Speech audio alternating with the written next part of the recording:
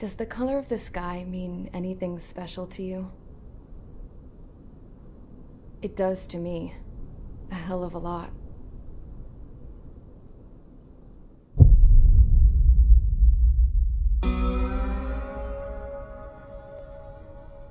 Pilots have been in my family for four generations.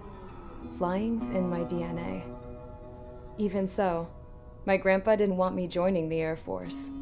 السلام عليكم شباب معكم يا دقيق from the Middle East فالفيديو بتكلم عن أهم لعبة حق الطيارات الحربية ال premier game حق ال combat flight simulation اللعبة الوحيدة اللي بتي على بالك لما أحد يقول لك طيارات حربية. إذا في لعبة ثانية تي على بالك لما أقول لك طيارات حربية اكتب لي في ال comments لأن أنا والعديد من الناس إذا تقول لنا طيارات حربية أول لعبة بتي على بالنا هي Ace Combat قبل لا أبدأ أتكلم عن اللعبة وأعطيكم تقييمي لها لازم أذكر إن آخر مرة لعبت لعبة من سلسلة ألعاب Ace Combat كان على ال PlayStation 1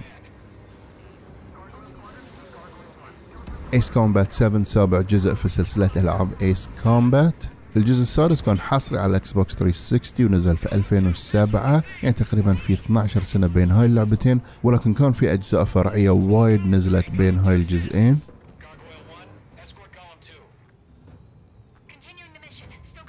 Ace Combat 7 Skies Unknown حاليا متوفرة على ال PlayStation 4 وال Xbox 1 وبتصدر على ال PC في تاريخ 1 فبراير. والمقاطع اللي تشوفونها في الفيديو من نسخة ال PC اللعبة من تطوير Bandai Namco وهي أول لعبة من السلسلة يتم تطويرها على ال Unreal Engine 4 وعالم اللعبة نفس العالم من الألعاب السابقة Strangereal ولكن هالمرة عندنا قصة جديدة ومختلفة. وبعض مهمات اللعبة بتدعم خاصية ال VR ال virtual reality ولكن حاليا ال virtual reality حق اللعبة بس حصري حق ال PSVR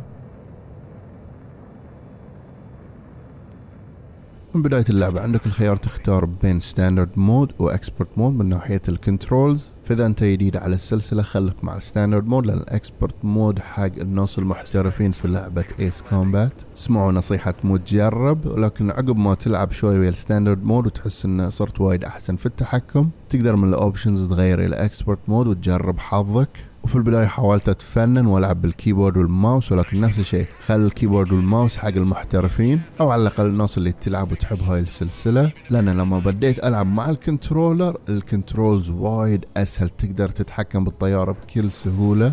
حتى لما جربت ألعب بال expert controls مع ال controller بعد كان كل شيء okay يعني ما كان شيء وايد معقد. وايد ناس وأنا منهم كنا متوقعين إن اللعبة بتكون جريبة لل simulator أكثر. يعني نفس الألعاب مال simulation حق الطيارات نفس Flight Simulator والعاب غيره.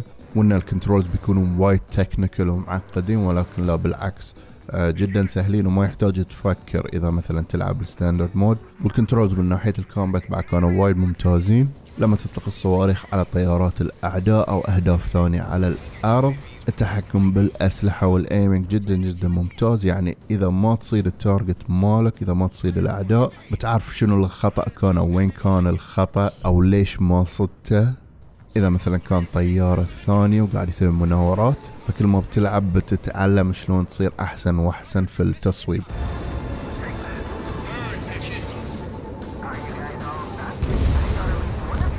وعلى موضوع الطيارات والأسلحة في اللعبة. في مجموع 28 طيارة بتطلعهم وتشتريهم وفي طيارة واحدة DLC exclusive إذا كنت طالب اللعبة مسبقا بتحصلها ك DLC وإذا نزلوا طيارات إضافية في المستقبل شيء ممتاز ولكن أنا أشوف هاي عدد الطيارات جدا ممتاز 28 طيارة وكلهم طيارات صجية موجودة في عالمنا إحنا فما في أي طيارة خيالية بتلعب معاها. وبتقدر تسوي customization و upgrade حق الطيارات اللي بتغير من سرعة الطيارة ال defense مال الطيارة أو قوة الأسلحة. وطبعا في أنواع للطيارات مو كل الطيارات نفس الشيء.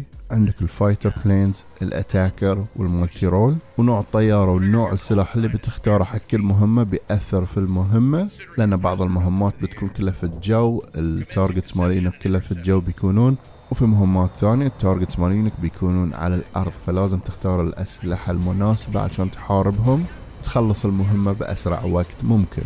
بالنسبة لل campaign mode عندك 20 مهمة زائد ثلاث مهمات حصرية بس حق ال VR وفي قصة في اللعبة القصة بسيطة ومباشرة ما فيها تعقيدات وايد ولكن بتقدر تجذبك بشكل كبير. وفي تفاعل بين الشخصيات لما تلعب. But now, I was all alone. والتمثيل وأداء الصوت في اللعبة كان جدا ممتاز وبالنسبة للموسيقى في اللعبة الموسيقى كانت عادية. بعض الأغاني كانت مناسبة مع المراحل اللي كنت موجود فيها والمواقف والأكشن.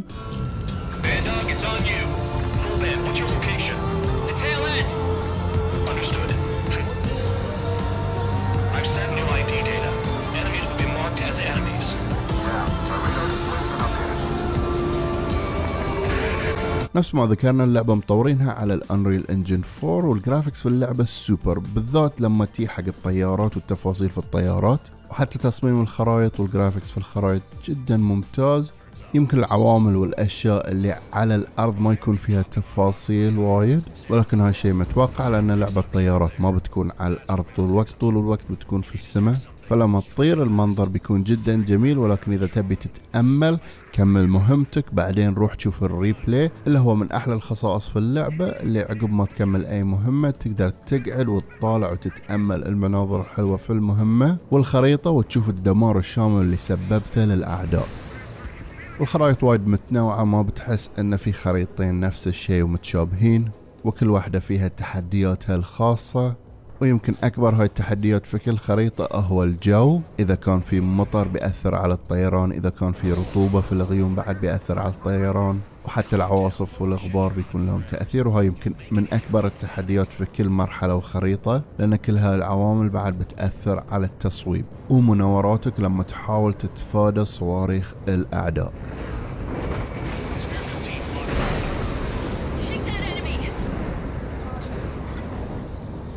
المهمات بيكون فيها تنوع شوي مو كل المهمات نفس الشيء ما بتحس بالتكرار وايد. في كل مهمة بيكون عندك شيء محدد تسويه عشان تنجز كل مهمة وتخلصها. فاللعب ما بيكون محدود على إنك بس تحارب وتدمر الطائرات الحربية. وحد أول مهمات تميت أخسر وايد لأن ما كنت قاعد أركز على ال target وال objective الشيء اللي مطلوب مني أسويه في المرحلة. لاني كنت احاول أحارب وادمر كل طيارات الأعداء الموجودين في الخريطة ولكن المطلوب في المهمة أني أدمر طيارات معينة قبل لا ينفذون مهمتهم الخاصة. فكنت قاعد أخسر وقتي أحارب الكل والوقت كان يخلص علي كل مرة. وأسلحتي كانت تخلص ما يتم عندي أي صواريخ. غير ال campaign mode عندك ال multiplayer mode وال online mode اللي فيه مودين اللعب عندك battle royale و deathmatch والعديد من الناس اونلاين يقولون إنه مو كفاية ال online modes بس اثنين نبي أكثر. ردي على هاي التعليقات شنو مودات أكثر تقترح للعبة؟ أنا ما أقدر أفكر في شيء ثاني لأن اللعبة محدودة طيارات حربية. ما في وايد أشياء تقدر تسوي طيارات حربية. يعني ما تقدر تسوي online mode نفس Rocket League ويا الطيارات مثلا. أو سمعوا هاي الفكرة الغريبة والغبية. هاي شو اسم اللعبة اللي في هاري بوتر؟ ما اعرف شنو اسم اللعبة ما أطالع هاري بوتر. بس آه، حق بالنسبة لل online mode ما في وايد أشياء يقدرون يسوونه. ولكن إذا نزلوا online mode جديد شيء ممتاز وعجيب وأتوقع وايد ناس بي- بيعجبهم بالذات محبين السلسلة. فأي شخص يحس إنه يحتاجون يضيفون مودات أونلاين أكثر غير ال deathmatch وال battle royale اكتب لي في ال comments اقتراحاتك شنو تبي تشوف في ال online mode أكثر حق لعبة Ace Combat 7 Skies Unknown واعتقد لاحظتوا إني كررت كلمة محدودة في اللعبة وايد لأن في limitation للعبة. اللعبة عن طيارات حربية. وما في وايد أشياء تقدر تسويها ويا الطيارات الحربية ومنها ال online mode ما في وايد أشياء وأفكار تقدر تسويها في ال online mode يمكن تقدر تضيف challenges تحديات بسيطة تنجزها في وقت معين أو أسرع وقت ممكن. ولكن الشركة والمطورين قدروا يعطونك كل شيء كنت متوقعه وتحتاجه في لعبة طيارات حربية وبجودة جدا جدا عالية. وهاي شيء واضح في اللعبة الجودة جدا عالية بأعلى المقاييس وال standards وما أعتقد بنشوف أي لعبة ثانية من نفس النوع بتقدر تنافس هاي اللعبة Ace Combat 7 Skies Unknown انتو يا أعزائي المتابعين إيش رأيكم في اللعبة؟ وش رأيكم في ال online mode في اللعبة؟ هل تحسون إنه يحتاج إضافات أكثر؟ أنا شخصيا ما أشوف إنه يحتاج أي شيء إضافي الصراحة. اللعبة جدا ممتازة. وحتى إذا ما ضافوا طيارات إضافية في اللعبة ك DLC وأشوف اللعبة جدا ممتازة وكاملة ومكتملة وما تحتاج أي إضافة صراحة. أشكر Bandai Namco لأنهم وفروا لنا اللعبة علشان نقيمها ونسوي هاي الفيديو العجيب. فإذا عجبك الفيديو لا تنسى تعطينا ال like وإذا مو مشترك بالقناة خذ لك فره في القناة وتشوف فيديوهاتنا الثانية متأكد إنها بتعجبك. ولا تنسى تعطينا السبسكرايب تشترك في القناة. ومشكورين على المشاهدة.